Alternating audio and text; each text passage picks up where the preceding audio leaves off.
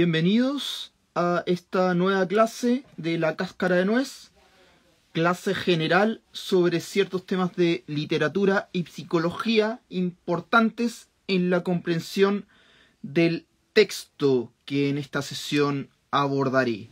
Ulises de James Joyce, en torno a su capítulo 18 y final, titulado Penélope, pero también llamado El monólogo interior o soliloquio de Molly Bloom, y en el cual, desde la mente de dicha mujer, mientras yace acostada, se nos sumerge en un periplo por sus discordantes pensamientos que van desplegándose interrumpidos por impulsos evocativos internos y procesos biológicos externos, que a su vez le traen otras ideas, tal y como sucede en un sujeto real cuando experimenta un flujo de conciencia.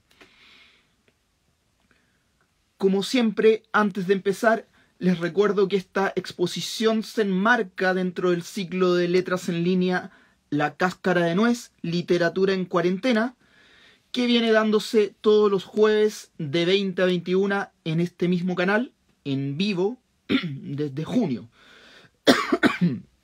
si bien sus primeras emisiones eh, arrancaron en mayo, cuando Museo Palacio Rioja y yo, en el contexto de la pandemia por COVID-19, abrimos el espacio literario de charlas virtuales en cuestión.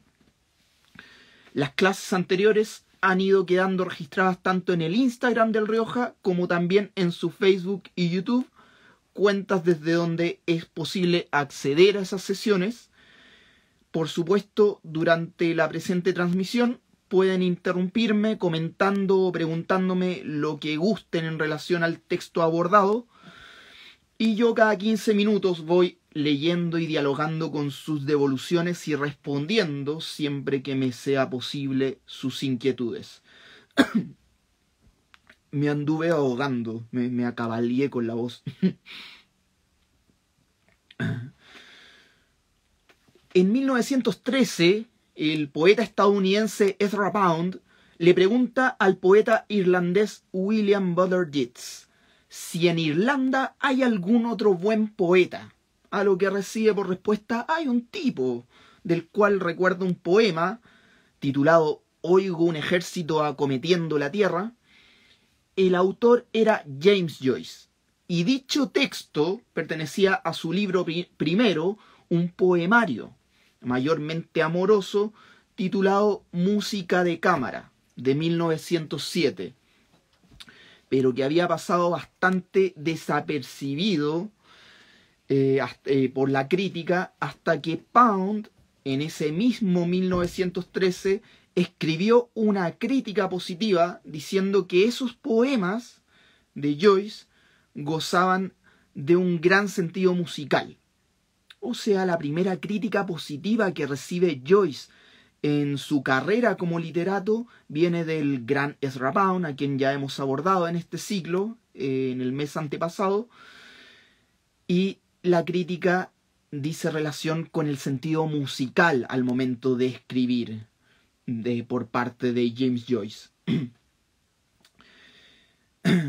Eh, Joyce era digámoslo así, un muerto de hambre con una esposa y dos hijas, un profesor y columnista que no ganaba muy bien y que hasta entonces no había sido muy considerado en el ámbito literario, y habría seguido en la miseria si Ezra Pound, en diciembre de ese año, no le hubiera escrito una carta ofreciéndole publicarle lo que fuera que en ese momento estuviera escribiendo. Y Pound cumplió el 2 de febrero de 1914, el día del cumpleaños número 32 de Joyce, salió publicada en la revista The Egoist la primera entrega de la novela Un retrato del artista adolescente un Bildungsroman o novela de aprendizaje que trata de un joven sensible que entre la evolución de su carácter pasional a uno más racional, sobrellevando la niñez y sus miedos, y la adolescencia y sus inquietudes y el enamoramiento y sus desilusiones a través de la formación escolar y universitaria en una sociedad burguesa, irá madurando a la vez que descubriendo su vocación literaria que finalmente lo decidirá a ser escritor. La novela hasta 1916 seguiría saliendo en ese medio, la revista The Egoist, en modo serial, para en 1916 publicarse como libro autónomo con el cual su autor se ganará a los críticos de su época. Y con razón. La narración, al ritmo y la melodía de juegos lingüísticos se sirve del llamado estilo indirecto libre.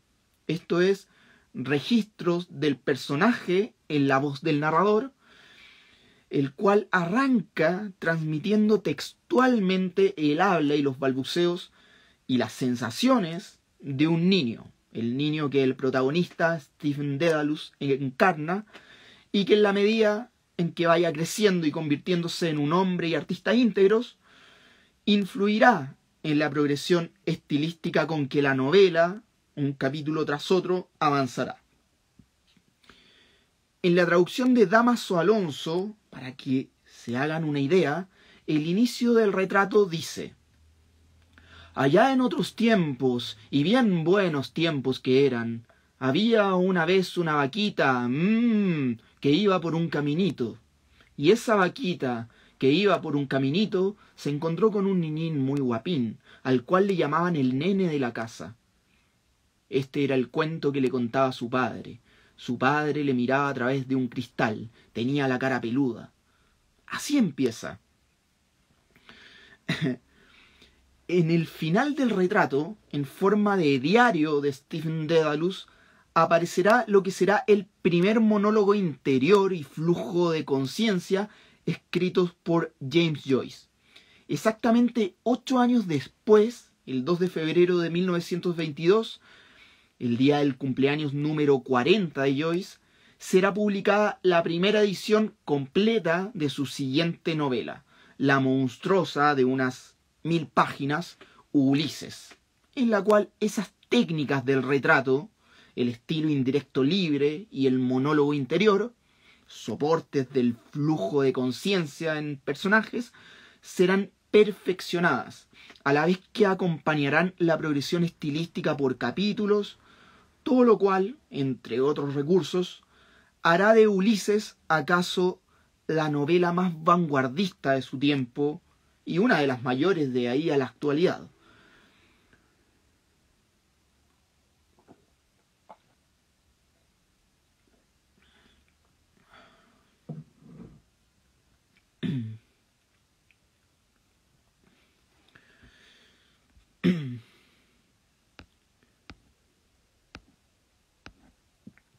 Voy saludando a quienes me han saludado. Buenas noches. Entonces, el Joyce, que en la novela de formación Un retrato del artista adolescente, intentó recrear su infancia y adolescencia escribiendo no desde la memoria adulta, sino con un lenguaje inmediato que evocará las ideas y sensaciones de un hombre y artista en formación, todo lo cual de alguna manera fundará la novela moderna, inventando desde luego un nuevo narrador y un nuevo lector para esos nuevos tiempos modernos en los que los discursos del psicoanálisis ya empezaban, el discurso del psicoanálisis ya empezaba a configurar ciertas tendencias en la cultura y el arte del siglo XX y que hasta la actualidad permanecen. Ese Joyce, en su siguiente trabajo literario, la novela Ulises, perfeccionará esas formulaciones, solo que siguiendo ya no el proceso de madurez de la niñez a la adolescencia en un artista, sino la vida trivial, cotidiana, de un hombre corriente en una única jornada desde la mañana hasta la noche. Suena simple, pero con Joyce nada lo es tanto. Las décadas de entrada del siglo XX propiciaron la experimentación y sus consecuentes transformaciones en muchos campos de la cultura.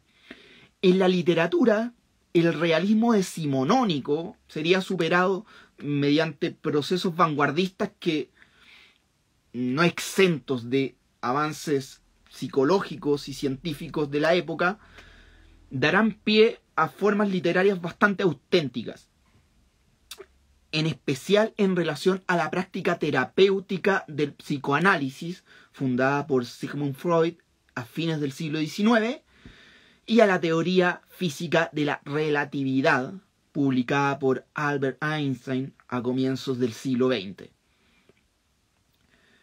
Para el tiempo en que Joyce escribió un retrato del artista adolescente y el Ulises, el psicoanálisis ya había llegado a ser un alto referente de la psiquiatría y la cultura en general.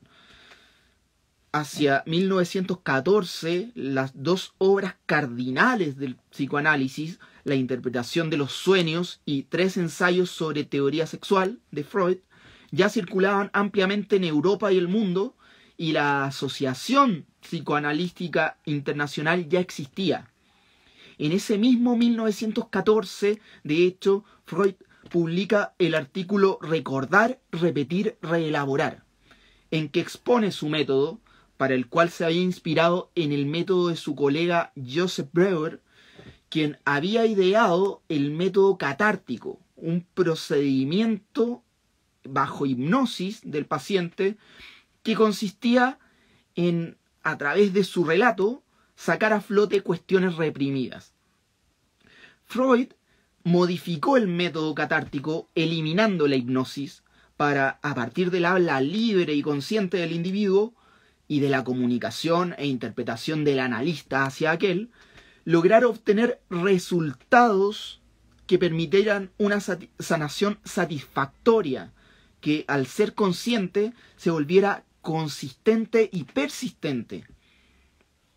Así nacía el psicoanálisis, tomando las neurosis e histerias del enfermo e indagando en supuestos conflictos inconscientes que pudieran haberlos ocasionado y estar haciéndolos a menudo emerger en la conciencia, con el fin de que el analizado pudiera identificar esas inclinaciones y oponer resistencia a sus reproducciones. Recordar, repetir, reelaborar, decía Freud. Y Joyce, primero en un retrato del artista adolescente y luego en Ulises, al trabajar con técnicas literarias como el estilo indirecto libre y el monólogo interior para lograr el flujo de conciencia en personajes, estará muy atento a esos conceptos desplazando a los narradores omniscientes, que todos lo saben, del realismo decimonónico, se centrará más en la percepción de los propios personajes, en las acciones y pensamientos que ellos mismos recuerden, repitan, reelaboren, como diría Freud. Contra el objetivismo positivista, la literatura joyciana se alineará en ese sentido con cierto subjetivismo fenomenológico, que de la mano de filosofías vitalistas y espiritualistas, como, la de Henry Bergson, y por supuesto de la mano también del relativismo espacio-temporal eh, de, de Albert Einstein, dará paso al empleo de estilos textuales que cuestionen lo estático y lo absoluto en el individuo, y propicien dinamismos a la hora de interpretar su existencia. Desde luego, en las novelas de Joyce, esa renovación temática traerá una renovación igualmente formal. El que se diga será efectivo en la medida en que el cómo se lo diga esté a la altura de ello. De ahí que a la vez esa exigencia lleve al surgimiento de una nueva clase de lector, un lector activo, inteligente, capaz de dedicarse a comprender en profundidad el material literario al que se enfrenta.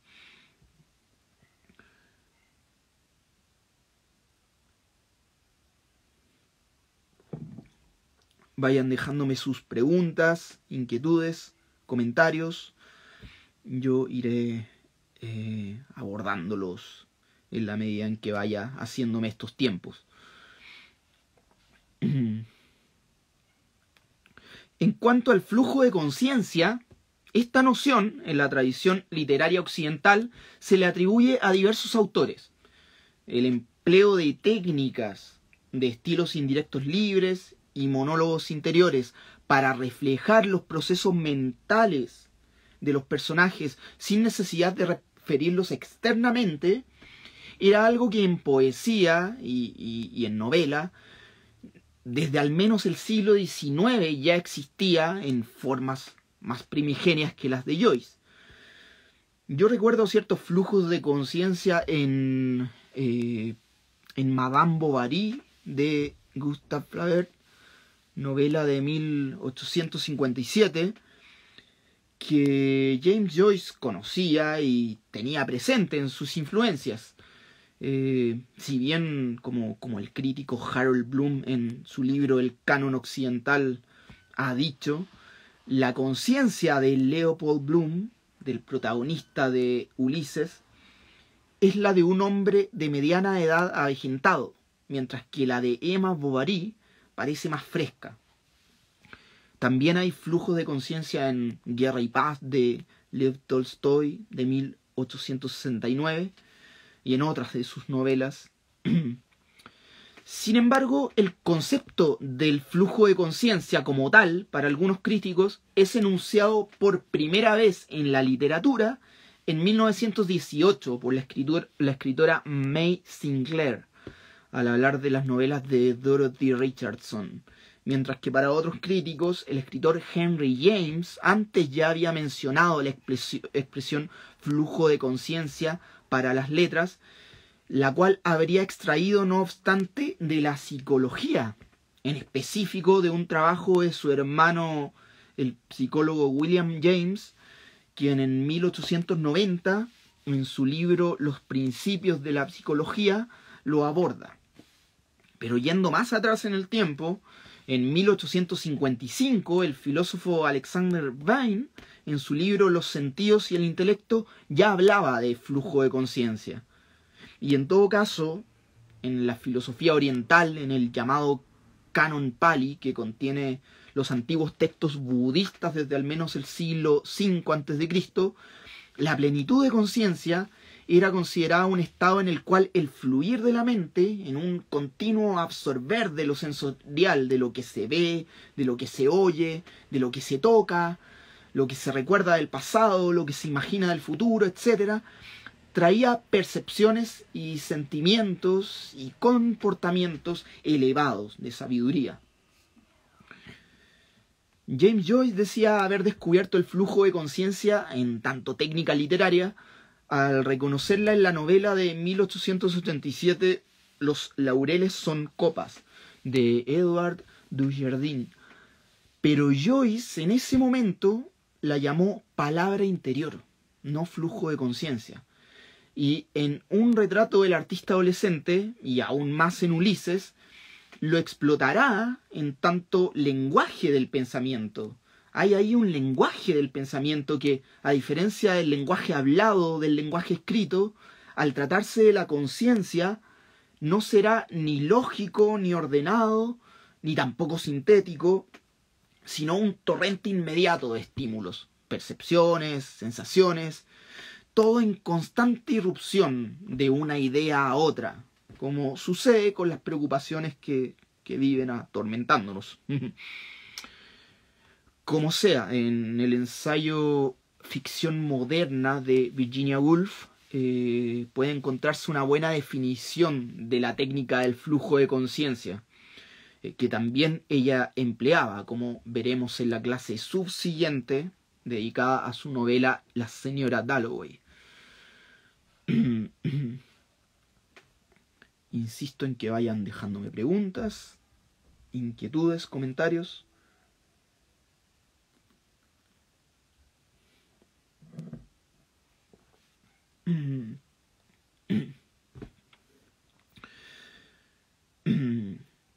Sigo.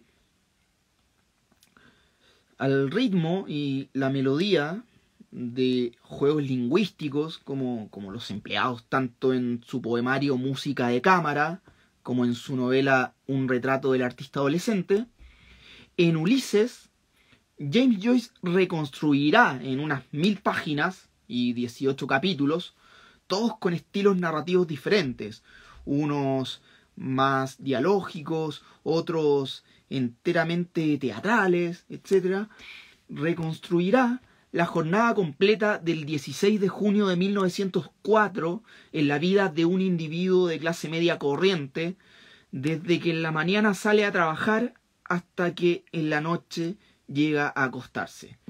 Leopold Bloom, judío de 38 años y hombre de negocios fracasado, que si bien un poco harto de vivir, como cada día, se mueve por Dublín de un lado a otro.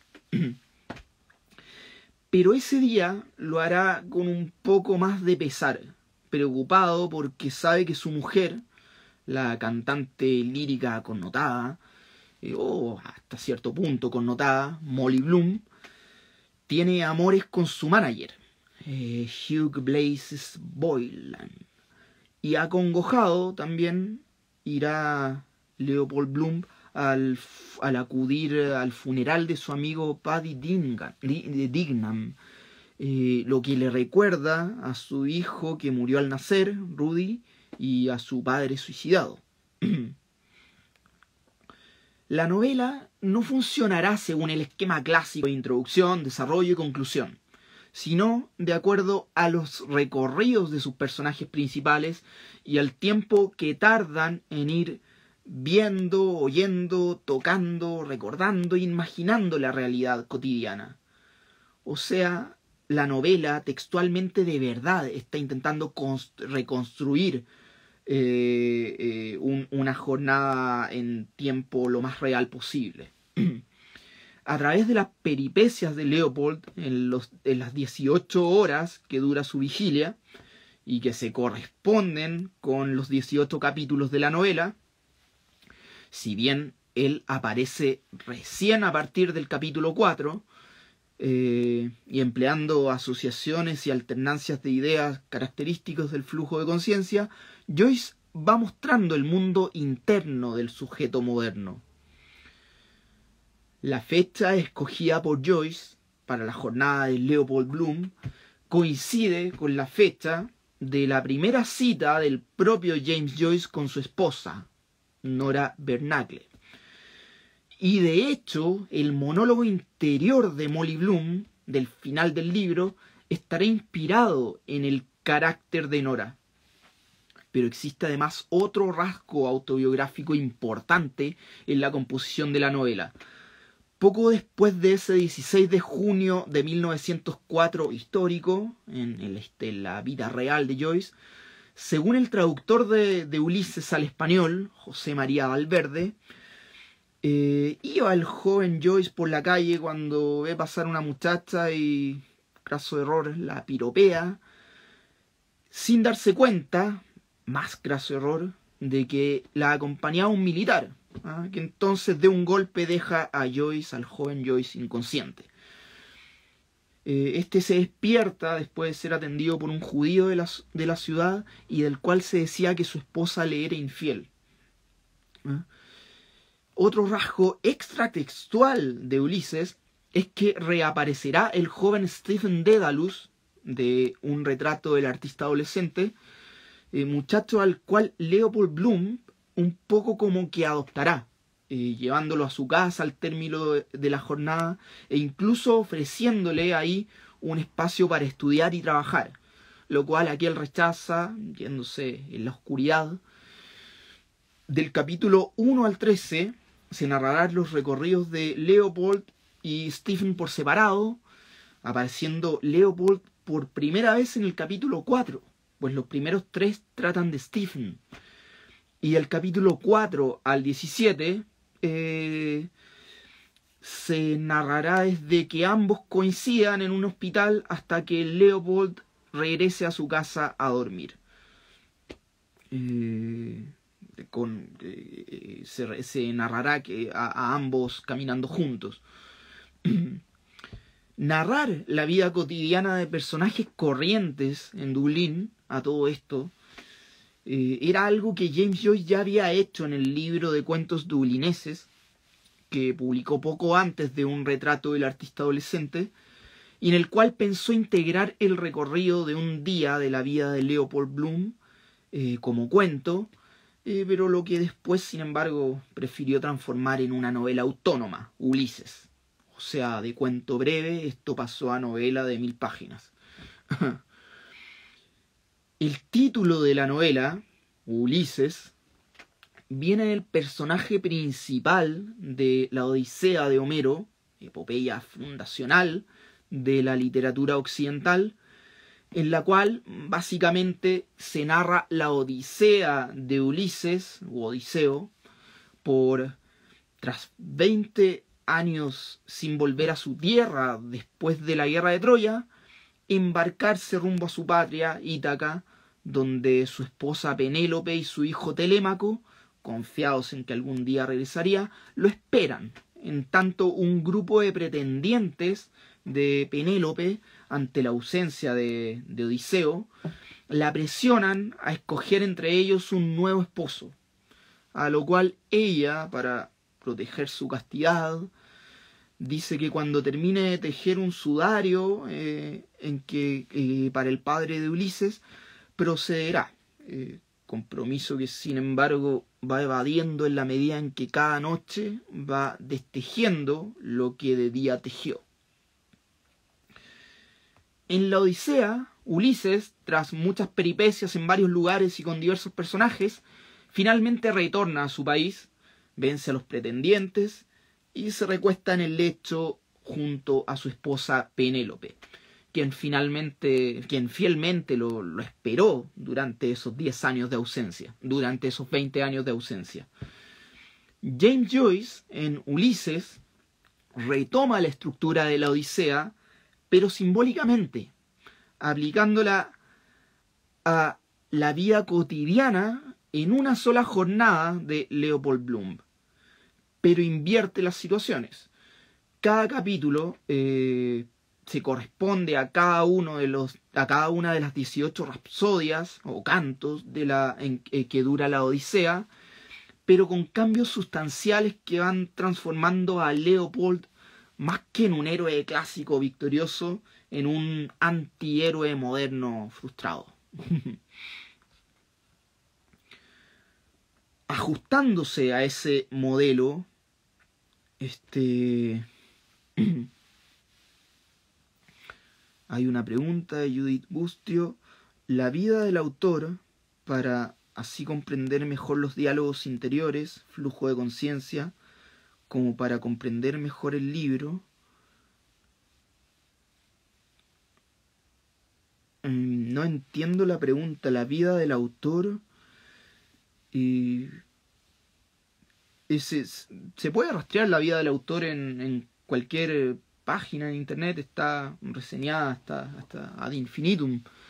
Eh, pero no hay, no hay mucho más que saber eh, de Joyce que lo que voy a ir refiriendo en, en la sesión para entender eh, a, a, Molly Bloom y, y este intento de, de Odisea moderna. Este Ajustándose a ese modelo de la Odisea de Homero, James Joyce tituló cada uno de los 18 capítulos de Ulises según lo que acontecía en la rapsodia o canto equivalente de la Odisea, y los dividió en tres partes con títulos igualmente simbólicos respecto de dicha epopeya. Eh, del capítulo 1 al 3 tendremos la telemaquia, que tratará de Stephen Dedalus, el equivalente a Telémaco, hijo de Ulises en la Odisea. Del capítulo 4 al 15 tendremos la Odisea, eh, que tratará de la jornada que en su ausencia de su hogar y de su esposa ha sobrellevado Leopold Bloom, eh, el equivalente a Ulises en la Odisea. Y del capítulo 16 al 18 tendremos el Nostos, eh, que tratará del regreso. Eh, nostos en griego es regreso, palabra a la cual si se le suma algos, dolor, nos da nostalgia, nostalgia, que sería anhelo o dolor por volver o regresar a algo o a alguien. Eh, esta, esta parte, esta tercera parte, los capítulos 16 y 18, eh, tratarán del regreso de Leopold a su casa donde lo espera Molly Bloom, su Penélope o anti-Penélope. Me extendería demasiado refiriendo las parodias que Joyce realiza respecto de los personajes y situaciones de Ulises y Leopold. Eh, y yo podría ir analizando intertextualmente con la Odisea, interdisciplinariamente con la filosofía, la psicología, las religiones católica y judía, las tradiciones irlandesa y británica. Eh, hay un sinfín de temas eh, a partir de los cuales se puede tocar el Ulises. Eh, yo podría seguir analizando la relación de ambos personajes, Leopold y Stephen, y entre ambos con el mundo a partir de las técnicas joycianas empleadas, el lenguaje en variedad de registros, los juegos verbales y musicales, las alteraciones ortográficas y puntuacionales, los chistes locales, el tiempo y el espacio en que todo transcurre, etc. Hay material de análisis ahí eh, para toda la eternidad, como, como dijo alguna vez Joyce respecto de, que los críticos tendrían mucho trabajo con, con, su, con su Ulises. Pero no puedo abordarlo en, en, una sola clase y menos en, en la media hora de clase que queda. Pero aquí me detengo en un solo personaje, la Penélope de Leopold Bloom, eh, Molly Bloom la esposa de Leopold Bloom, Molly Bloom, que en Ulises funciona como una anti-Penélope, una que a su Ulises, a su Leopold, a diferencia de la, de la Penélope mítica, eh, le es infiel. El capítulo por excelencia a partir del cual se aborda ese personaje es el 18 y final titulado Penélope.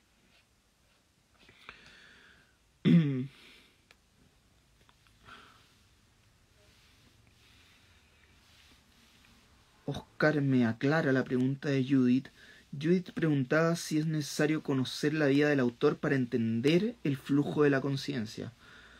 Mm, no, es necesario conocer más bien eh, el progreso de la psicología a comienzos del siglo XX eh, para entender cómo, eh, cuál es la importancia y cómo funciona lo que James Joyce eh, elabora literariamente como flujo de conciencia en tanto en un retrato del artista adolescente como en Ulises. Eh, las vías de los autores pueden decirnos, eh, darnos datos que enriquezcan las obras, pero siempre recordemos que las obras no son los autores. Las obras eh, naturalmente toman su curso como los hijos, se van volviendo autónomas eh, y, y, ya lo ven. Eh, Joyce ya no existe, pero Ulises sigue dándonos que hablar y no dándonos que hablar lo mismo de siempre, sino novedades que todos los años en papers, en tesis a lo largo de, de todo el mundo van surgiendo.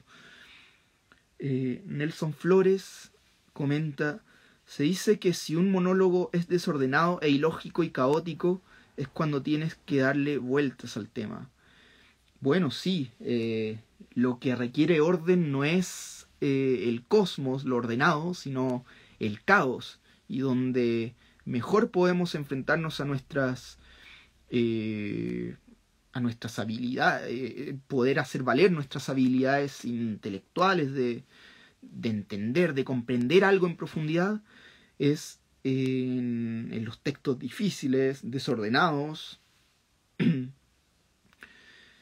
eh, Fran comenta, las obras son un universo en sí mismas. Claro, eh, de hecho cada obra tiene, diríamos, su propio sus propias leyes de la física, por así decirlo. Eh, dentro de cada obra pueden suceder cosas que en esa obra se ven válidas, se ven verosímiles, pero en otra obra no lo parecerían tanto. eh, cada obra, y bueno, en el caso de Joyce y en el caso específico de Ulises, cada capítulo tiene sus propias leyes.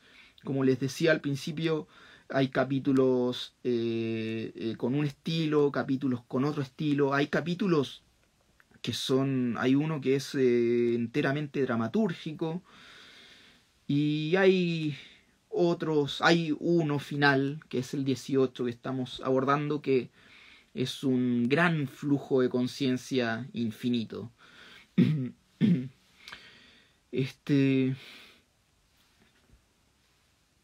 Una pregunta de Oscar. ¿Qué marcadores textuales nos indican que estemos frente a una obra que trabaja la técnica del flujo de la conciencia?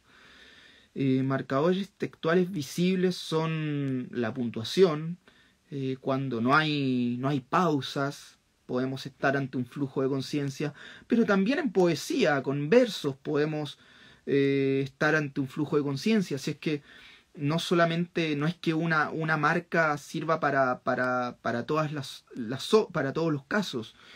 Eh, en realidad es más bien el estilo en que se nos está diciendo algo.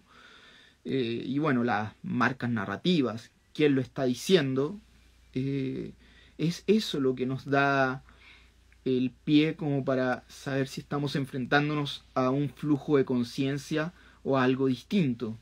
Eh, el flujo de conciencia, por supuesto, ha ido evolucionando. Eh, no siempre existió como tal. Ya les decía que eh, a mediados del siglo XIX, en Madame Bovary de Gustave Flaubert, en Guerra y Paz de Lev Tolstoy, se ven fenómenos de flujo de conciencia, pero muy distintos a lo que Joyce logrará. Joyce acá, diríamos, amparado por lo que, por los avances de la psicología, de verdad pone a hablar a Molly Bloom, pone a hablar a un personaje, hablar en su mente, o sea, pensar, con todas las antinormas, diríamos, que tiene la mente respecto del lenguaje hablado, del lenguaje escrito, del lenguaje que empleamos para comunicarnos con otros. El lenguaje con que hablamos para nosotros mismos es un lenguaje eh, eh, que, se salta eh, reglas de entendimiento básico para los otros. Así es que no, no es que Joyce decía emplear una técnica porque sí y ya. Joyce decide de alguna manera ponernos a nosotros los lectores a Molly Bloom, a este personaje en el diván, y dejarla hablar sin saber que nosotros estamos escuchándola. Eh, por eso estamos de alguna manera penetrando la mente de, de Molly Bloom. Estamos adentro y, y ella no se ha enterado. o quizá ella está dentro de nosotros y, y somos nosotros los atrapados por el canto de la sirena. Además de la Odisea de Homero, existen leyendas que retoman la historia de Penélope, la historia de la Penélope mítica, pero con ciertas alteraciones de los acontecimientos con respecto al canon homérico.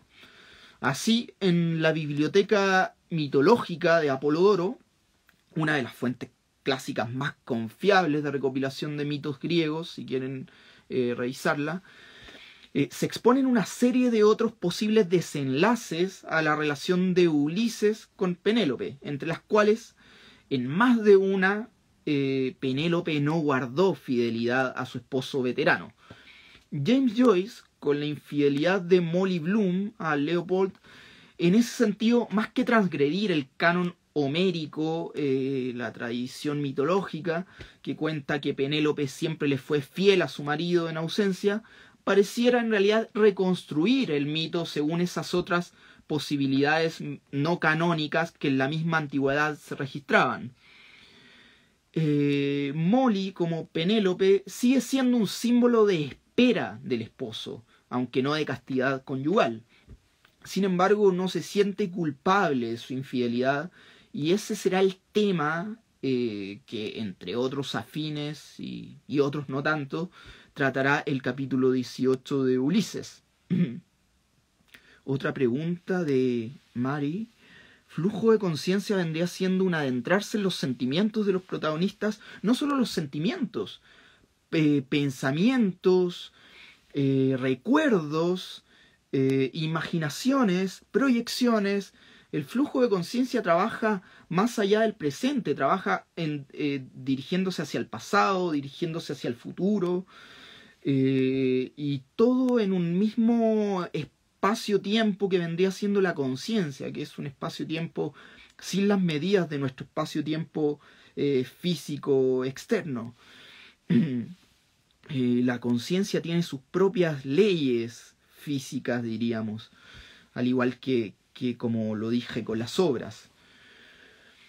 El capítulo 18 de Ulises, a la manera de la segunda mitad del tercer capítulo en la persona de Stephen Dedalus, el capítulo 18 consistirá en un monólogo interior de Molly Bloom que narrando en la misma técnica literaria del flujo de conciencia que, ese otro capítulo, que el tercero, aunque más difícil de seguir, en unas 100 páginas de largas oraciones y sin casi sin puntuación, creo que hay unos 7 u 8 puntos por ahí, o sea, imitando el curso incesante del pensamiento en la desbocada conciencia de Molly o de cualquier persona, nos revelará las ideas sucesivas caóticamente desbordantes de dicha mujer mientras yace acostada junto a su marido ya dormido.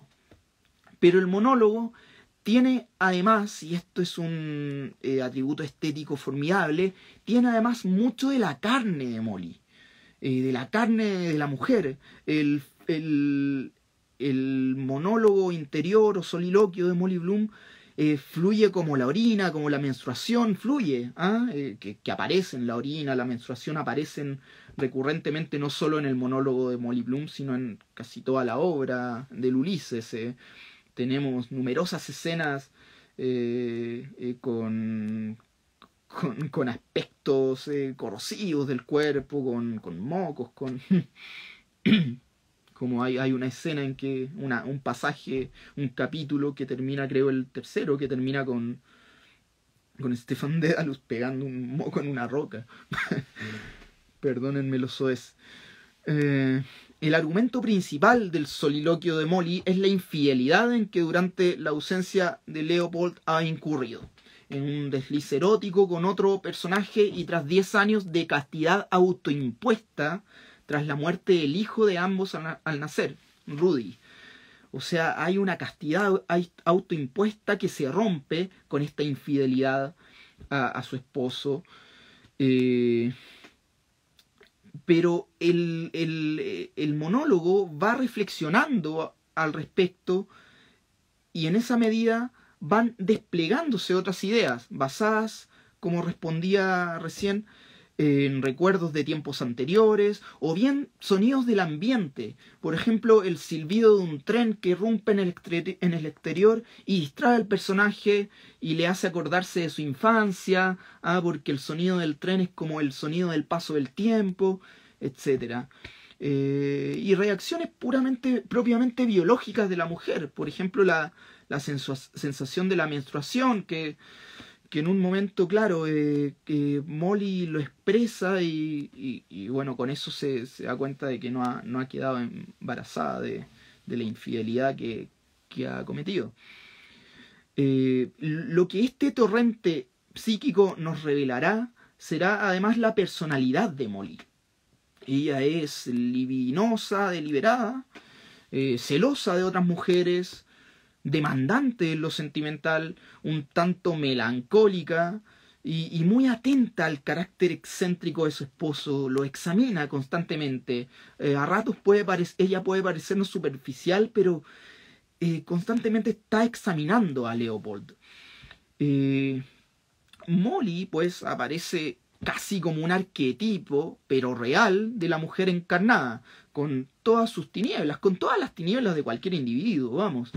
Eh, y que en relación a la Odisea de Homero la vuelven comparable ya no solo con una Penélope invertida, sino igualmente con ciertas diosas y monstruos que Ulises en, en, la, en la Odisea de Homero en su travesía enfrenta, empezando por la diosa Calipso, que después de la guerra encanta a Ulises y lo retiene en su isla, y también las sirenas que con sus cantos enloquecen a los hombres, Leopold sin duda ha sufrido esos efectos de los encantos de su esposa, algo que sabemos por las preocupaciones del hombre durante su jornada y las referencias que le hace al resto acerca de Molly, como en el capítulo Cíclopes, al conversar con el ciudadano anónimo antijudío, este que al final le tira un, vaso por la cabeza, o en el capítulo Eumeo, eh, al mostrarle a Stephen una foto de ella, a lo cual Stephen casi ni reacciona, eh, pero a la vez sabemos de ese encanto por las palabras de la misma mujer en su soliloquio.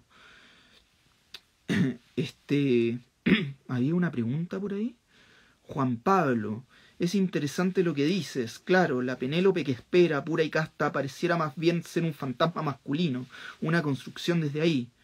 Evidentemente, y, y, de hecho Leopold lo sabe. Leopold sabe que, que su esposa eh, le es infiel o le, va a ser infiel. ¿ah? Así es que él no está con la idea. Y bueno, él también, según eh, Molly va diciendo en su monólogo, él le ha sido infiel, infiel con otras mujeres. ¿ah? Va al burdel, de hecho. Eh, así es que hay una hay ahí una, una relación no causal de, de infidelidades y estereotipos, de estereotipos caídos, pero sí eh, y natural, diríamos, de, de, los impulsos de la carne en uno u otro individuo y de las situaciones que viven, porque lo de Molly es un es una este una castidad autoimpuesta por la muerte del hijo. ¿ah? Eh, bueno, eh, se, me va a ir el tiempo. Este el episodio final eh, bueno, siguiendo con el episodio final, eh, tenemos, mm, no voy a alcanzar a, leerles los fragmentos que seleccioné del, del monólogo interior, pero, pero bueno, ustedes lo pueden revisar. Eh. lo que sí, les hago un, un, pequeño resumen de cómo fluye ese, ese monólogo interior. Este, empieza con, con Molly junto a su esposo en la cama y ella, bueno, eh, eh, eh,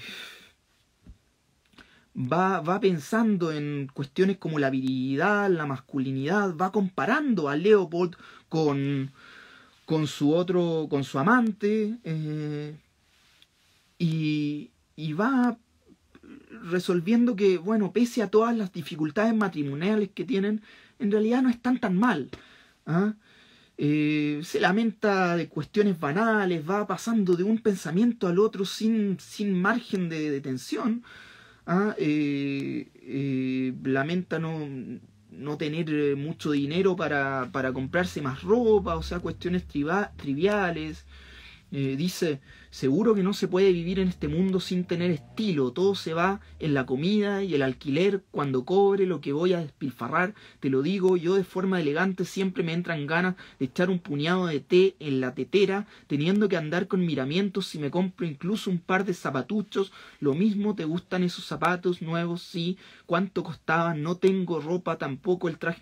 Es interminable el, el, el, el proceso. Eh, hay reflexiones sobre otros temas, los genitales masculinos, eh, la belleza del cuerpo femenino, eh, la infancia, como les decían, en, que, era en Gibraltar, la infancia de Molly, pasa un tren y ella se acuerda de su infancia. hay un montón de, de, situaciones que van interrumpiendo el flujo y llevando los pensamientos en otras direcciones. Eh, eh, ella en un momento va a orinar, eh, después vuelve, sigue pensando, fantasea con, con, encuentros sexuales con Stephen, con el, este hijo simbólico de, de Leopold. este, también dice que, va a ponerse a estudiar porque no quiere ser mirada por encima del hombro por su, por su esposo. un montón de cosas que, que van sucediendo a lo largo de estas 100 páginas. Eh, este. ¿Qué más? Eh, piensa en las flores. Eh, esto, esto ya, ya terminando el, diálogo, hay, hay algo, hay, hay, un detalle hermoso. Eh, el capítulo y la, la, novela terminan con un sí, eh, con la palabra sí, palabra que en Joyce tiene un valor simbólico. En una carta a un amigo en 1921, o sea, un año antes de publicar el Ulises, Joyce le decía que la palabra sí le parece una palabra femenina, ah, que indica relajación, el fin de toda resistencia, bueno, esto en las concepciones, diríamos, freudianas de, de, de, Joyce respecto de la mujer. ¿ah? Y desde luego, el final del capítulo y de la novela termina con Molly aceptando a Stephen. Eh, en Ulises es Molly, es la anti-Penélope quien tiene la última palabra.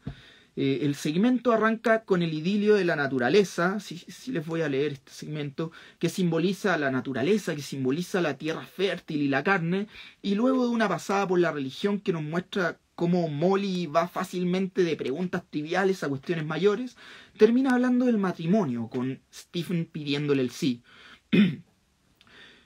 Le haría a uno mucho bien ver ríos y lagos y flores de todas las formas y olores y colores brotando hasta de las cunetas prímulas y violetas. Es la naturaleza como para que digan que no hay Dios. Yo no daría un duro por toda su sabiduría. ¿Por qué no van y crean algo? A menudo le preguntaba a los ateos o como quiera que ellos se llamen, que vayan y se quiten la roña de encima. Primero luego van berreando a por un cura cuando mueren. ¿Y por qué? ¿Por qué porque tienen miedo del infierno por su mala conciencia. Ah, sí, ya lo creo, que los conozco bien. ¿Quién existió en el universo antes de que existiera nadie? ¿Quién lo hizo? Todo.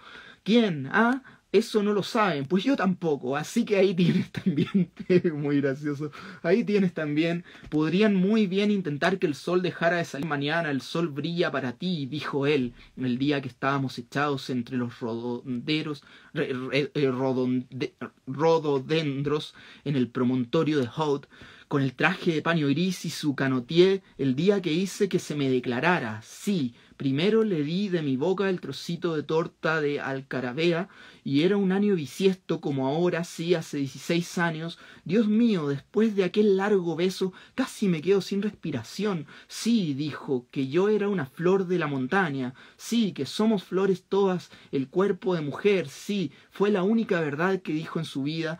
Y el sol brilla para ti hoy, sí. Por eso me gustaba, porque vi que entendía o sentía lo que es una mujer, y yo sabía que siempre le podía buscar las vueltas y le di todo el placer que pude invitándole hasta que me pidió que dijera sí. ese es el ese es el ritmo de esto. Y ahí más abajo viene el noble final con Molly nuevamente, pero ya no al casarse, sino en su conciencia, dándole el sí, un sí inmediato como con que el libro cierra.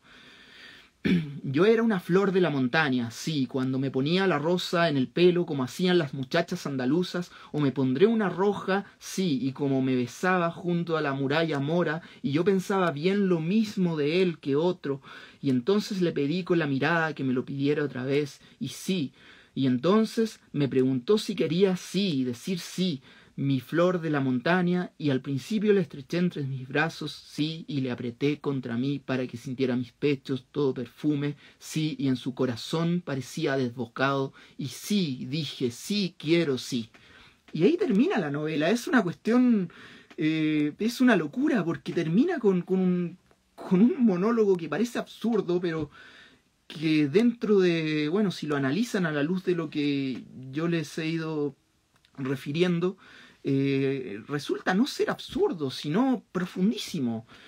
Eh, en un libro anterior de James Joyce, eh, anterior al retrato del artista adolescente, un libro titulado Ya como Joyce, que es un poemario en prosa, inédito, que se publicó post-mortem, eh, Joyce ya hablaba del hombre, trataba este caso del hombre enamorado de una, de una chica, y el comienzo de ella, como Joyce, de este poemario, bueno, en mi traducción no está traducido al español, pero en mi traducción dice, eh, Gabriela Robin dice, me gusta mucho ese final, sí, a mí también. El comienzo de ya como Joyce dice, ¿quién? Un pálido rostro rodeado de pesadas y olorosas pieles. Sus movimientos son tímidos y nerviosos. Ella usa gafas de prueba.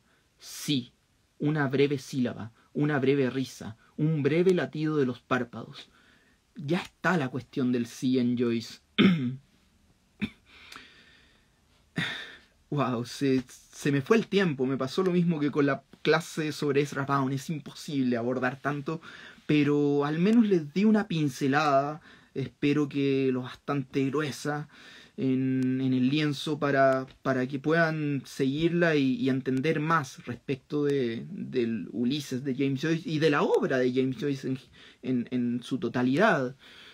Este, Joyce, termina, eh, Joyce se dedica después, eh, desde hasta 1939, a terminar otra obra más caótica todavía, el Finnegan's Wake, ¿ah? donde lleva la experimentación lingüística a su extremo. Y hay una anécdota que refiere el profesor Ricardo, el que refería al profesor Ricardo Piglia, que murió en 2019, sobre Joyce y el psicoanálisis en su libro Formas Breves, eh, al referirse a la conciencia como un océano donde las sirenas del pensamiento cantan y, y seducen nuestra razón, al referirse a la conciencia, al inconsciente, perdón, como, como, ese, como esa imagen, eh, cuenta Pilia una anécdota de, del psiquiatra Jung con, con Joyce. Eh, Joyce, bueno, su hija era esquizofrénica. Y, y mientras Joyce escribía el Finnegan's Wake, eh, su hija, que bueno, más adelante murió, su hija escribía cosas muy difíciles de entender. Y Joyce va donde, donde Jung y le dice, ¿sabe? Mi hija escribe eh, garabatos en las páginas similares a los que yo en mis juegos lingüísticos, muy meditados, muy eh, eh, trabajados, intento hacer. Y le dice, bueno, a mí me cuesta tanto lograr esto, pero ella lo hace fluidamente, ella que es esquizofrénica. Así es que debe ser una genia, intenta insinuarle Joyce. Y Jung lo mira y le dice, Claro, pero ahí donde ella, ahí donde usted bucea, ella se ahoga, como para darle a entender la diferencia entre un genio y, alguien que, que, está sufriendo por, por, lo, que, por lo que hace. Eh, Joyce fue un genio. Eh, retrató la mente de un niño en un artista, en un retrato del artista adolescente, retrató la mente de varios personajes, incluida una mujer eh, bastante singular en el Ulises de, en el Ulises, y bueno, en toda su obra, obra en general uno encuentra casos de retratos de lo que está dentro del individuo, no de lo que damos a entender al, al, otro, sino de lo que eh, abordamos en nuestra oscuridad más íntima, eh, en, nuestro, en nuestra conciencia, en nuestros pensamientos. Eh, otra que leyó el Ulises de James Joyce y quedan 30 segundos, así que con esto me despido, fue Marilyn Monroe. Ella, hay una foto famosa, busquen la Marilyn Monroe leyendo Ulises, en que está pasmada leyendo las últimas páginas del Ulises, el monólogo de Molly Bloom, del cual a su psiquiatra dice las fuentes, le comentó que la hacía sentir muy identificada con el personaje de Molly. Quedan 10 segundos, me despido, nos vemos el próximo jueves a las 20 con la clase sobre T.S. Eliot y la Tierra Baldía. Adiós.